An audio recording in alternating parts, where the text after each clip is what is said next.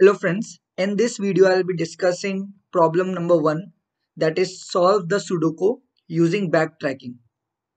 Okay, so already I've discussed what is backtracking and using the example of Sudoku I've already explained the workflow that is the recursive workflow. Now I'll be doing the code in C++ language. So I'll give you the brief regarding the problem. So the problem is that we'll be given a board having empty cells which will be represented by 0. So the goal is to fill that empty cell with a number ranging from 1 to 9 provided that there won't be any duplicate in each row column and in the grid so this is the grid okay this one is the grid so there are nine grids and the board size is fixed. That is 9 cross 9 2d matrix. Okay? So this is the problem. Now the input is like this is the test case and this is the sudoku values. Okay? Now we need to find the output. Okay. So already i have created the code segment so the code segment is like this. In main function, first of all, I'll take the input from the platform regarding how many test cases they are going to pass in it.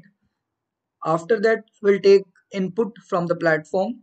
So this board I have declared and inside this board, this platform will give the input having some of the cells as an empty represented by 0 okay.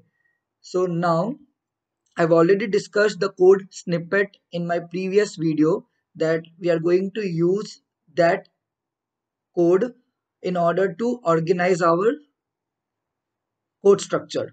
Okay. So I've created user defined function in main.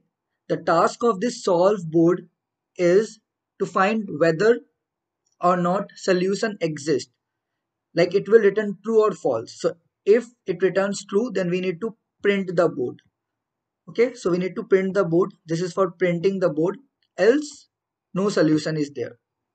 Okay so this is main function.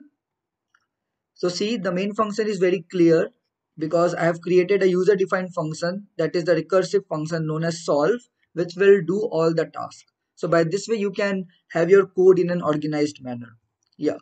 So this solve function is recursive function so we need to use base case in order to terminate it the moment we got our solution. Okay. So first of all, the main thing is extract the empty cell. So first step is to extract empty cell. So what I will do, I'll use simple for loops or else I'll do copy and paste instead of writing the same stuff. Okay. So this for loops nested for loops will help to extract empty cell in the board. Okay, so if board of ij is 0 as empty cell is represented by 0, what we need to do? We need to extract the location and store it in this variable. So row is this and column is this. Yeah. Okay, so after having this, we need to move out of this inner for loop as well as outer for loop. As because we have already found our first empty cell so we need to move out of these two loops in order to put a number ranging from 1 to 9 in that empty cell. So what i will do i'll create boolean flag that is is empty. So right now is empty is true as because there are some empty cells in our Sudoku board. So inside this if, if board ij equal equals to 0, I'll change it from true to false. Just a flag. Like we can use integer. I'm using boolean. So anything you can use to indicate this flag and we'll do break. So this break generally helps to move out of this inner for loop. Okay. Now to move out of this outer for loop, what I will do, I will check whether my is empty is false. So if it is false, it means I need to move out of this outer for loop. Okay. I need to move out of this outer for loop. Yeah. Okay. So the base case of this will be like if I'll be reached in this position in the last cell, it means that I've filled all the empty cells. I filled all these empty cells. Okay, so what I will do if is empty, then return true. So this is my this is my base case. Why? Because see, suppose we are here. Okay, after filling the last cell, we are here. Now it won't go inside this for loop. Okay, so it won't go inside this for loop. As a result, our is empty is true. Our is empty will be true. If any vacant cell is there inside the board, then it will move inside this for loops which turn our is empty to false. So that's why this acts as a base case which implies that our board is completely filled with the number. Okay, so this is the base case. Yeah. Now, I've got the position of the cell. So what I will do, before filling any number to this position, I'll call save function. So I know that the number is ranging from 1 to 9 the number is ranging from 1 to 9 before filling this number into that position I'll call is save function. And inside this I'll pass board. I'll pass the information of the position where I was about to fill that with this number okay and that number okay so this is save function will decide whether this value which I'm trying to fill in that empty cell leads to a solution or not. So it will return true or false. So suppose this is save function returns true. If it returns true, then put the value, put the value in that position. Okay. So after putting the value in that position, then recur for the next empty cell. So again, I'll be calling solve and it will recur for the next empty cell. Okay. So now it will again go from this to this part as because it is recursive function. In order to understand this recursive flow, check my previous video in which I have discussed it in very detailed manner. Okay. So after filling the empty cell with the numbers ranging from 1 to 9 this solve board will return true. Okay? The solve board will return true. Else do backtrack. Backtrack means that there is a cell in which the number ranging from 1 to 9 is not satisfying. Like it's not leading to a solution. So we need to do backtrack so if it is not satisfying like if it is not leading to a solution we'll be getting false in this solve board as a result this return true will not execute and it will move to this part okay and it will change the filled value with the initial value. So again, I'm repeating that in order to understand this recursive flow, check out my previous video. So I'll mark it with the initial value. Okay. And I'll do return false.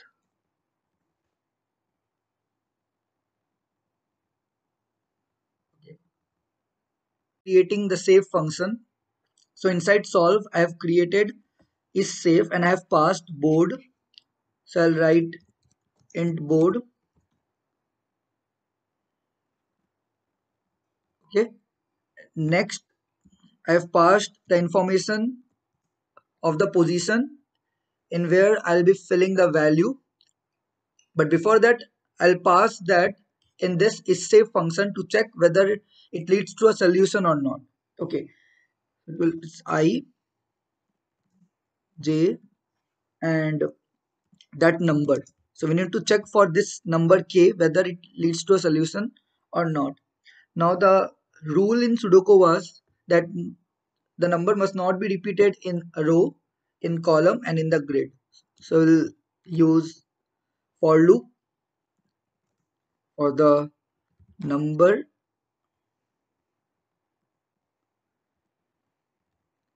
Okay. And inside this I'll write the condition to check whether in row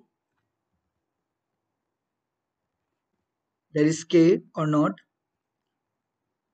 or in column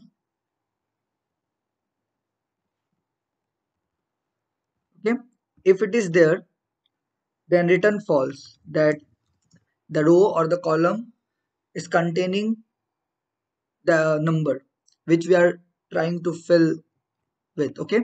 So return false in this case okay. Now we'll check for the grid. So as we know that the size of the grid is 3 cross 3 so the logic which i need to follow in order to check for the grid is that suppose our i value is in this is in this okay? In this column. So what we need to do is that we need to traverse this grid. We need to traverse this grid. That means we need to use the loops which will start from this 5 to this cell to the last cell of this grid. Okay? So the size of this grid is 3 cross 3 it means that we need to subtract this position from the modulo. Okay? We need to subtract this position from the modulo of this position that is modulo with the size of the grid in order to reach in this cell. And from here I'll be do traversing through this grid okay? So i hope that you've got the point. Yeah. So what i will do is that in order to in order to reach in the starting position of the grid i'll do this. Like the initial position the i was this minus its modulo with the size of the grid okay? And my row row starting is this and column starting is j minus j mod 3 as i is representing row and column is being represented by j okay now i'll be traversing that whole grid so 0 to the size of the grid. So the size of the grid is 3 cross 3. So I'll traversing this whole grid. I'll use two for loops. Okay. You can take any example and check this uh, logic that how it is reaching to the starting row and column of the grid. yeah so now I'll check whether in that grid that number is there or not so if the grid contains the number it means that that number is violating that it does not leads to a solution. Okay? So my board of uh, row start plus x and column start plus y. If this is equals to the number it means return false. Okay otherwise return true. If none of the rules are violating it means we need to return true that yeah it is safe to put this number in this position okay? And recur for the next empty position. If the recursive function return false it means that we need to do backtrack. So this is the backtrack part. We need to do backtrack. That is we need to change the value to the initial value so this is the sudoku program.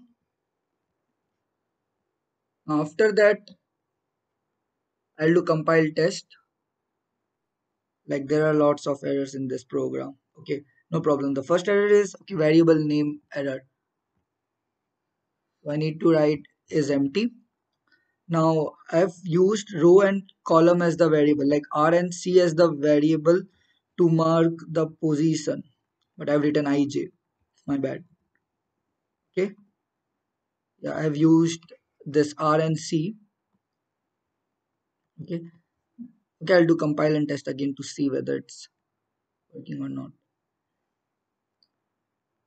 Board ij equals to 0 i was not declared in this scope. N is not declared in this scope. Lots of error are there in this i'll do rc next is this. Okay again i will do compile and test. I'll do submit and see whether it's working or not. Yeah i got this. Okay so by this way we can solve this sudoku problem. In order to check explanation about this you can check my previous video okay? Till then bye friends